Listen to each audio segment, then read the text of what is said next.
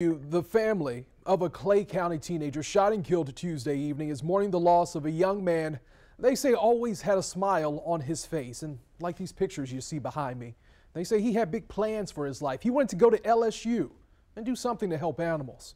On your side's Don White is joining us live tonight in Clay County with how his brother and aunt are remembering him. Don. Uh, Anthony, 18-year-old Skylar Townsend lost his life here along Center Street in Green Cove Springs. These shards of tattered glass mark the spot where a life full of promise ended early.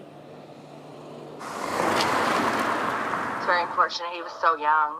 It's just tragic. Alexandria Robertson says her nephew, Skylar Townsend, had his act together and was always mature for his age. So he was very intelligent, um, graduated school early, um, he just turned 18. He's hilarious. He can make you laugh at anything. He's very goofy. The Orange Park High School graduate was raised by a single mother. His older brother, Caden, says the two were best friends. I want everyone to remember him uh, for the caring person that he was.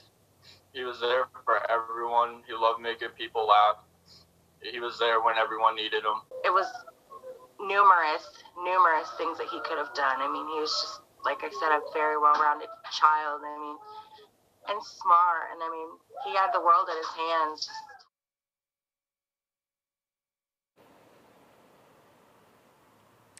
And police did find a car of interest in Jacksonville last night.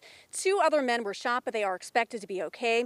Why the family tells me that this murder is like deja vu all over again tonight at 6. Live in Green Cove Springs, Dawn White, First Coast News, on your side.